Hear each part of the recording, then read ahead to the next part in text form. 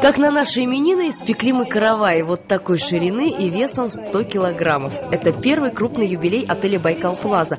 Пять лет упорного труда и высоких достижений. Наличие четырех звезд после глобальной реконструкции за столь короткое время говорит о многом. Это было требование времени. На тот период в городе катастрофически не хватало хорошего качества номерного фонда.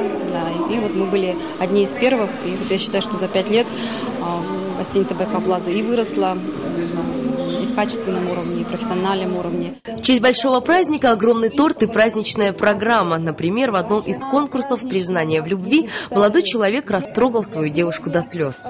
Мы элементарно идем по улице вместе, и мне не хочется смотреть ни на каких-то девушек, которые уже с парнями, которые одинокие. Просто я понимаю, что я за руку держу свое счастье. Виктор, так зовут победителя, получил поддержку зрителей, а в подарок сертификат на двоих. Суточное проживание в президентских апартаментах Байкал-Плазы. А вот право разрезать торт досталось двум пятилетним мальчишкам.